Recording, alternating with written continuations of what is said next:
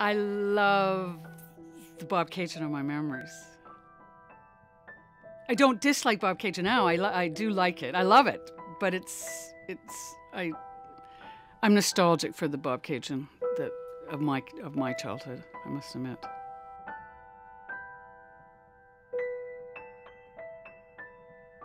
When you become of an age, um, your memories become really important to you, and they, they seem to flash.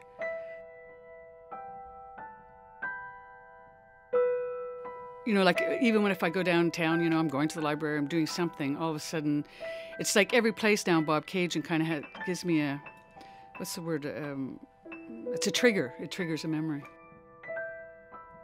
which is kind of neat because I, I, I, I'm not sure my children have the same memories of Bobcaygeon that I do. It was a different. It wasn't the same town when they were little. The whole town was your playground, like the main street, the locks, the the, the lakes.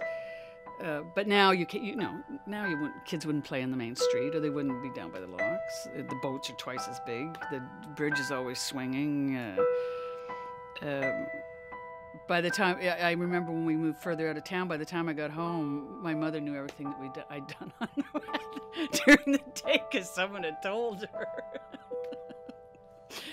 So I guess it made you it made you better kids because you knew you were it was going to be uh, it was to be your parents would know by the time you got home.